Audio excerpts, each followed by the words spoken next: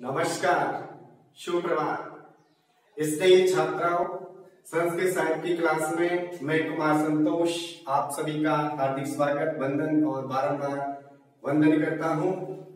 स्नेही छात्राओं, आज पुनः हाजिर है हम आपके पाठ्यक्रम में सम्मिलित लघु सिद्धांत कौमुदी का एक महत्वपूर्ण और रोचक प्रसंग प्रयत्न के संदर्भ में जानकारी लेकर आज के इस वीडियो में हम आपसे परिचर्चा करने वाले हैं। आपके संज्ञा प्रकरण का दसवां सूत्र चल रहा था और उस सूत्र का नाम था तुल्या प्रयत्नम सवर्ण। तुल्या प्रयत्न सवर्ण सूत्र क्या कहता है?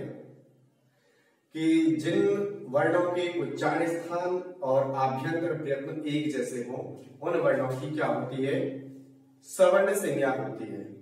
तो सवर्ण संज्ञा के अंतर्गत आपको पूर्व की वीडियो में हमने उच्चारण स्थानों के संदर्भ में जानकारी प्रदान की और आज उसी सूत्र को लेकर के उन्हें फिर हाजिर है प्रयत्नों के संबंध में परिचर्चा करने के लिए। तो मनोयोग पूर्वक आप क्या करेंगे? इन प्रयत्नों के संदर्भ में जो जानकारी हम आपको प्रदान करेंगे, उनका उसको श्रवण करेंगे। चलते हैं प्रयत्न के संदर्भ में। सबसे पहले आप ये समझ लीजिए कि प्रयत्न आखिर कहते किससे?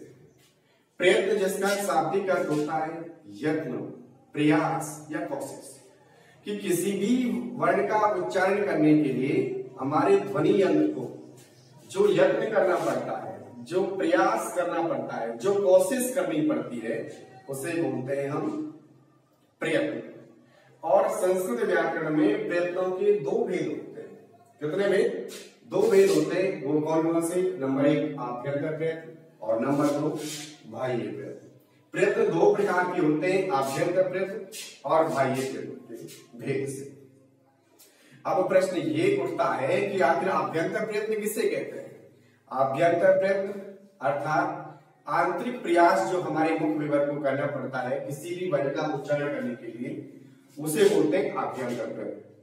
और प्रयत्न यानी कि किसी भी वर्ण का उच्चारण करने के लिए जो भारी प्रयास होता है, बाहर निकल जाता है, कोई वर्ण उच्चारण करते समय तो बाहरी जो चेष्टा है प्रयत्न हो गया, उसे होते हैं प्रयत्न अब आभ्यंतर प्रयत्न और बाह्य प्रयत्न कितने कितने भेद के होते हैं, इनके संदर्भ में भी आपको जानना परम आवश्यक है।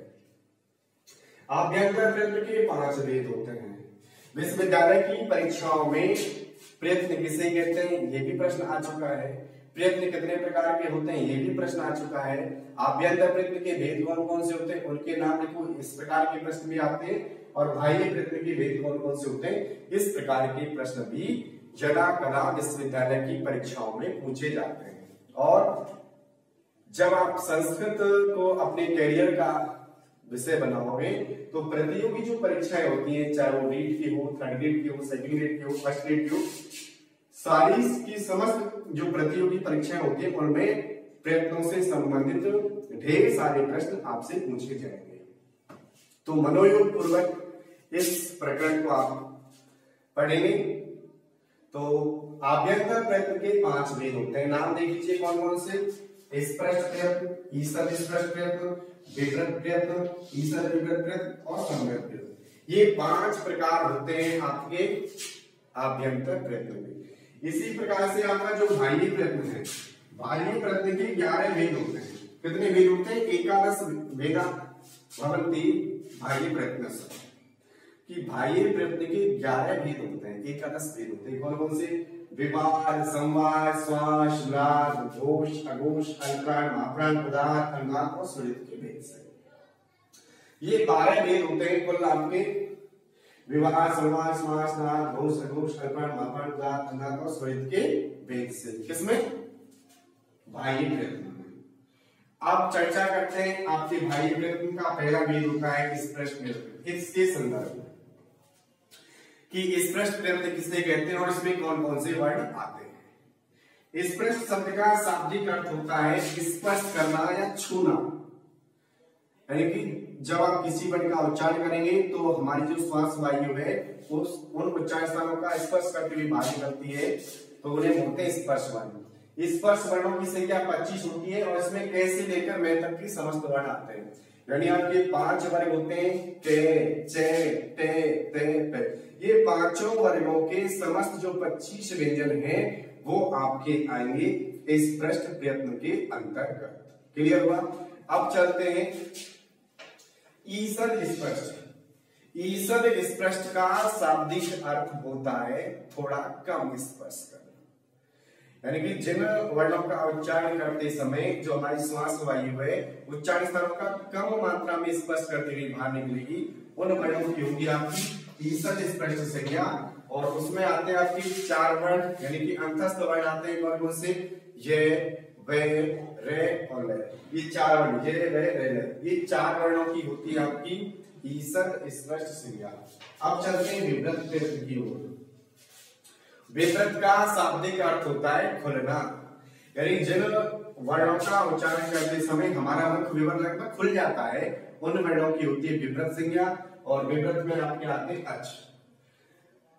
माहेश्वर सूत्रों के अनुसार अचों के भेद होते हैं नौ। यानी कि नौ अच वर्ण होते हैं, माहेश्वर सूत्रों के अकॉर्डिंग अच प्रकार में परिमित जो वर्ण होते हैं, ए, ई, उ, री री, ए, आई, ओ इन वर्णों का प्रयत्न होता है विभ्रत प्रयत्न क्लियर हो अब आता है ईसद विभ्रत प्रयत्न कि ईसद विभ्रत किसे कहते हैं? ईसद विभ्रत का अर्थ होता है थोड़ा कम खुलना यानी जिन वर्णों का उच्चारण करते समय हमारा मुख विवर थोड़ी कम मात्रा में खुलता है, उन वर्णों की संख्या होती है ईसद विभ्रत और इसमें आपके चार वर्ण आते हैं, से से से और ये ऊष्म वर्ण।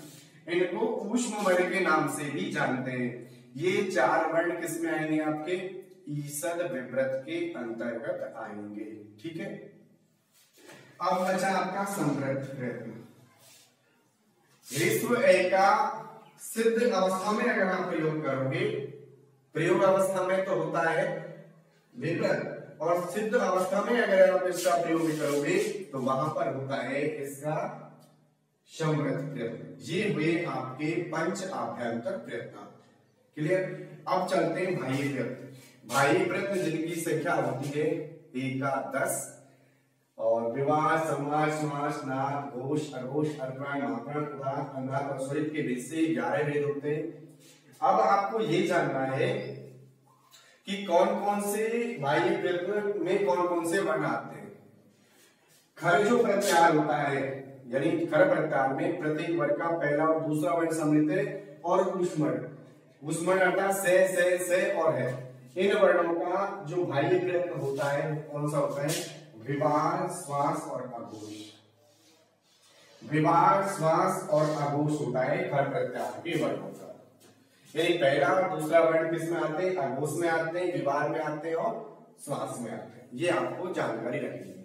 अब चलते हैं हस में आ रहे हैं आपके प्रत्येक वर्ग का तीसरा, चौथा, पांचवा वर्ण इस हस प्रत्यार में आते हैं आपके प्रत्येक वर्ग का तीसरा, चौथा, पांचवा वर्ग। इन वर्णों इनका जो भाई प्रयत्न होता है विवाह श्वास समार नाद और घोष।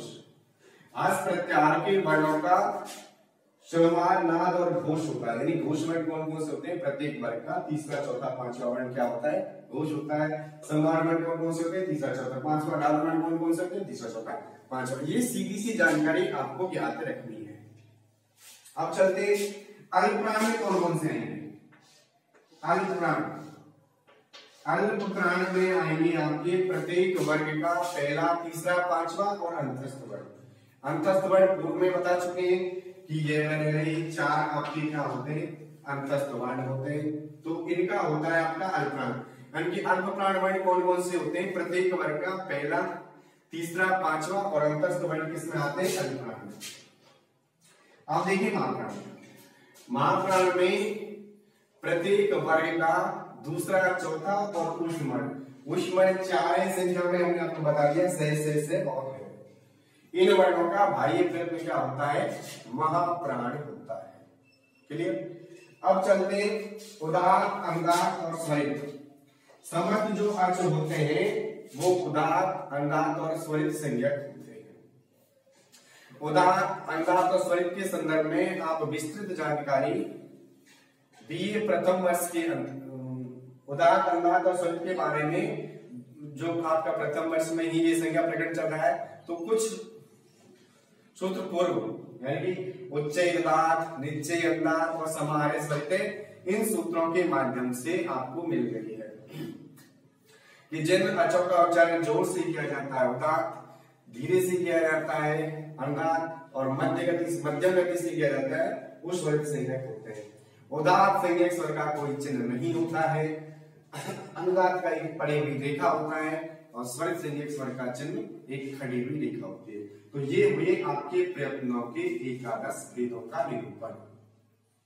यानी बाह्य प्रयत्न जो होते हैं एकादश उनके, उसके अंतर्गत कौन कौन से वर्ण आते हैं, वो हमने बहुत ही एक शॉर्ट ट्रिक के माध्यम से और हमेशा आपको याद रहे, इस प्रकार से बताने की चेष्टा की है इस वीडियो के अंतर्गत।